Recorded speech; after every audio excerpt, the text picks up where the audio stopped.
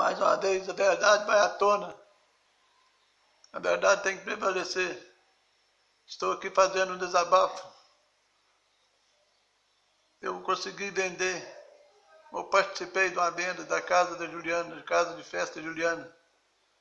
Valor de 550 mil. Com muita dificuldade que eu tive lá.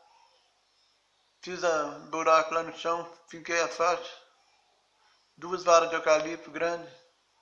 Uma faixa no qual eu paguei 50 reais para fazer. Para se vendesse lá, para mim seria bom. No porcentagem que ela me ofereceu 3%. Mas quem comprou ligou para mim, comunicou comigo, falou mais de 40 minutos.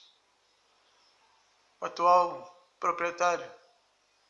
Só que ele foi, depois fechou diretamente com ela e falou que não tinha conversado nada comigo. A mentira está aí. E ela, eu liguei para ela, disse que nem, ele nem falou que conversou com você em nenhum, nenhum momento sem ter participação. Com certeza tive. Foi o meu número de telefone que estava lá e que ligou para mim. E foi depois fechou diretamente com ela, para ficar livre do que ele prometeu para mim. É muito triste. Eu com problema de saúde. Fui daqui lá no, na Cruzada dos Ferreira. Fiz o buraco lá, terra muito dura. Coloquei minha faixa lá duas, dois meses, durante dois meses a faixa lá. O qual ele pegou o telefone ligou para mim pelo que número está na faixa. Algumas pessoas aqui da nossa região com certeza viu que eu bati papo com algumas pessoas de lá. E ele, ao, ao, ao fechar o negócio com a Juliana, falou que não tinha, não falou que tinha negociado nada comigo, nem falou que tinha conversar comigo. Por isso que ela fala que eu não fiz parte nenhuma da, da negociação, mas com certeza eu fiz. Ele, ele pegou meu número de telefone pela faixa. Começou com ela, eu falei que ia morar em mulher. E ele ligou para ela. E no momento ele alega que nada comunicou comigo. Boa tarde, divino. Boa tarde, região. A verdade vem à tona. Quem fala a verdade morre primeiro. É, quem fala a verdade morre primeiro. Porque quem fala mentira vai enrolando, vai enrolando, vai enrolando, vai enrolando. Mas uma hora cai do cavalo. Como eu vi uma passagem, a passagem que está escrita na Bíblia. Saulo era um perseguidor das pessoas que acompanhavam Jesus Cristo.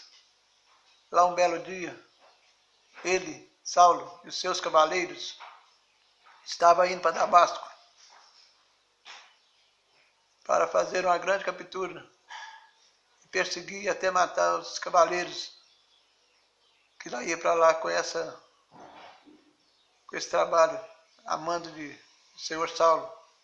Era um sanguinário, perseguidor das, das pessoas da igreja.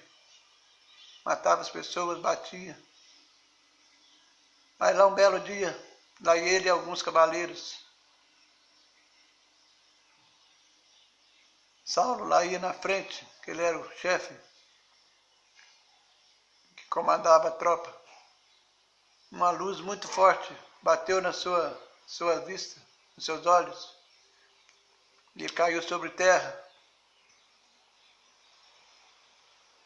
Quando ele acordou, Jesus estava chamando ele: Saulo, Saulo, Saulo, por que tu me persegue?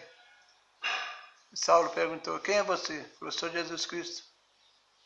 Você está perseguindo os meus seguidores. Você, a partir de agora, vai ficar cego. Ou você muda o seu destino, seu jeito de agir, ou então nunca mais voltará a enxergar. E Saulo, naquele momento de desespero, rapidamente foi procurar uma pessoa que Jesus disse para ir para procurar um Senhor. No momento eu esqueço o nome dele agora.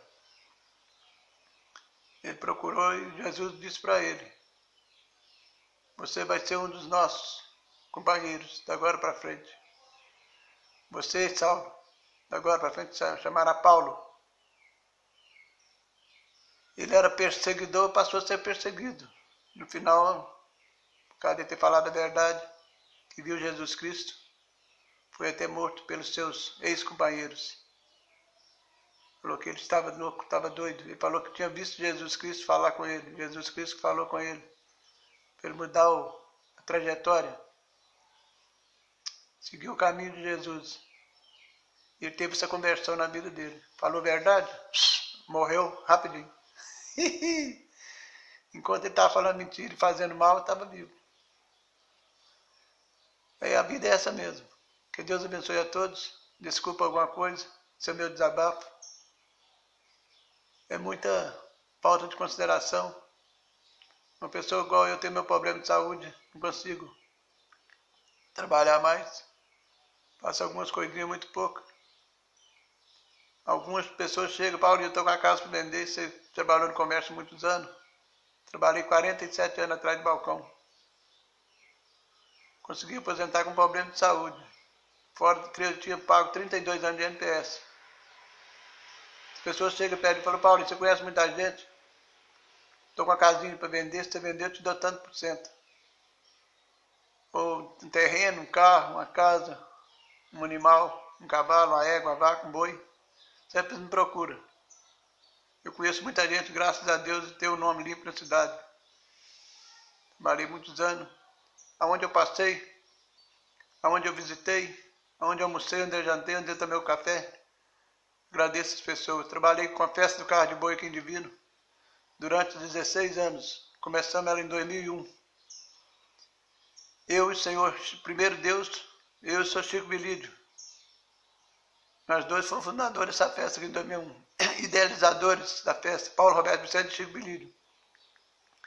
E algumas outras pessoas também que a gente não pode deixar de falar, que é o Roberto Rocha, nosso vice-prefeito, João Baqueiro, Jean Garcia, Assi, Aldair, Aldair, Bom Jesus, mora em Divino. Quem mais, hein? Muitas pessoas. Oscar Gomes de Freitas, que depois formamos aí o Clube do Carreiro no qual fui presidente durante 15 anos. Oscar Gomes de Freitas foi o vice-presidente, Oscar Gomes de Freitas, o senhor Fizinho Bier, Zé Militão, Ismaelim, a todos os carreiros, Celinho Domingo, Chiquinho de Sonico. Quem mais, hein? Sou, sou lá do Morro Redondo, esqueci o nome dele agora. Tinha uma charrete com uma égua muito boa, esqueci o nome dele agora. Um abraço para todos e parentes do Sebastião Merquide. Que Deus abençoe a todos vocês aí. Mas é isso aí, gente. Mais uma vez, só tenho que agradecer a Deus por tudo. Espero que você do outro lado da tela possa reconhecer meu trabalho. Mexi com futebol aqui em Divino também. Fui presidente do União Futebol Clube durante dois anos. Qual fiz excelente trabalho lá. Jogamos boas partidas, com time bons. O melhor jogo que nós fizemos foi com o Leopoldino. Perdemos lá de 1 a 0. E perdemos aqui de 1 a 0 também. Mas o jogo, o resultado não, o jogo foi muito bom, foi um grande jogo. Às vezes você joga, às vezes você, faz, às vezes você ganha de um time e não merece nem ganhar. Joga mal e ganha de um time de 1 a 0, 2 a 0. Nosso time jogou muito bem, porque o Ribeiro Junqueira era um time profissional. Quero mandar um abraço também nesse vídeo, pessoal de Muriaé, Nacional de Muriaé, na pessoa do Ivan. Ô Ivan, um abraço para você para toda a família do Nacional de Muriaé. Também para o senhor. O sobrenome dele é Barros. Esqueci o primeiro nome. que Deus abençoe a todos. Fique com Deus até o próximo vídeo. Quero mandar um abraço também para o meu netinho, Pedro Augusto, filho do Dr. Guilherme e da doutora Bruna. Pedrinho, um abraço para você, que Deus te abençoe mais sempre. Pedrinho teve no Maracanã vendo o jogo do Flamengo pela Libertadores, no qual ganhou de 1 a 0 e comemorou. Agora, infelizmente, ontem teve uma derrota. O Cuiabá, já pensou? 3 a 0 é, eu vou te falar. Eu parei de comprar futebol por causa disso. Prefiro andar na roça mexendo com um cavalinho, vaquinha, com um bezerrinho. Se Deus quiser, eu quero comprar um terreninho para mim, nem que seja um alqueire. Para mim ter minhas criações. A gente bebe de aluguel, um mês está num lugar, outro mês está no outro. Você começa a mexer com um lugar, de repente os outros crescem os olhos o dono pede o pasto. É difícil demais da conta, mas se Deus quiser, Que Deus abençoe com a hora eu consigo comprar um pedacinho de terra, pelo menos um alqueiro ou meio. Meter o meu cavalinho. Igual eu gosto de andar. Ultimamente não estou podendo andar por causa do problema de saúde. Mas se Deus quiser, eu vou conseguir. Eu tenho uma charretinha velha ali, vou pôr ela para funcionar. Comprei um cavalinho, uma eguinha pampa, de preto e branco. Vou amassar na charrete, ela é pequenininha. Ela é nova, está com dois anos e meio para três. Se Deus quiser, não posso dirigir, mas andar de charrete eu posso. Se Deus quiser rodar nessas roças aí. Fazendo uns visitas aí para gravar uns vídeos aí. A todos, que Deus abençoe a todos hoje e mais sempre. Esse foi o meu desabafo. Fala alguma coisa sobre o que aconteceu. Infelizmente, não reconheceram o meu trabalho, mas espero que Deus abençoe a todos. Juliana, mais uma vez, abraço para você. Você que liberou o salão para nós fazer uma grande festa lá no Domingão Sertanejo. Vou te dar uma nota 10. Que Deus te abençoe hoje mais sempre. Você está falando a verdade. E eu estou falando a verdade. Alguém está falando mentira. Esse alguém não é você nem eu. Mas quem comprou a sua casa de festa. Se ele estivesse falando a verdade, eu não estava nem falando isso aqui. Com certeza ele teria me dado o carro que ele prometeu, de 12 mil. Você pagaria meus 3% que foi tratado. Mas infelizmente ele falou que não falou que eu negociei, você também falou que eu não apareci em nenhum momento na, na, na, na venda. Por quê? Porque ele não falou nada.